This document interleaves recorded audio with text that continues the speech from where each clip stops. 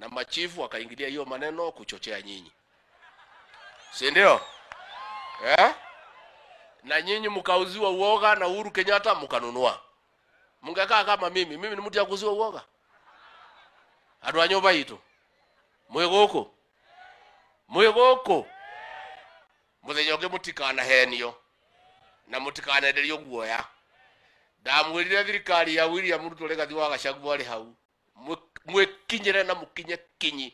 Migunda ni yanyu guku ni kwanyu na nikuo mugutura murutaga wira muthukumaga muthomithie ciana cianyu na gutire mundu ungimuria tondu William Ruto na nie tũrĩ andu a thayu mwina thayu ka mutire na thayu riu ri mwahenagio muikirie kimundu kĩu kura kĩngĩamũtwarire ku eh?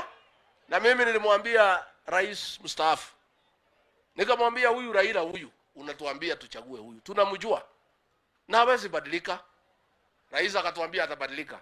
Nikamwambia hii mtu ni ule yule wa kung'oa leri hajabadilika. Ni ule wa kukataa matokeo ya uchaguzi. Amekataa hajakataa. Si nilikuwa nimemwambia rais Kenyatta huyu mtu hawezi badilika. Sisi tunamjua. Na sisi tumesema sasa hiyo maneno imepita. Sisi hatuna time ya hiyo maneno wako naye. Lakini huyo mzee wa azimio ametukosea ametukosea sana. Juzi ametukosea sana. Amechukua rais wetu Uhuru Kenyatta. Yule sisi tulimpenda tukamchagua akakuwa rais amri jeshi mkuu wa majeshi yote ya Kenya mzee wa heshima akamchukua juzi akaweka juu, juu ya lori. Mliona? Mliona amemweka juu ya lori? Sasa tunauliza heshima ya rais wetu tuliyompenda ambaye alikuwa anavaa uniform ya kijeshi na kupigiwa saluti na mandege. Huyu mzee azimio amemchukua amemchanganya ndio huyu amemweka juu ya lori. Sasa mimi nina mimi ninaogopa na mimi ninaona haya.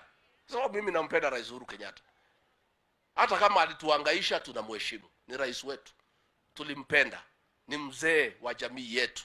Ni kiongozi wa kitaifa. Rais amempatia mamlaka kubwa ya kusunguka afrika kulete amani.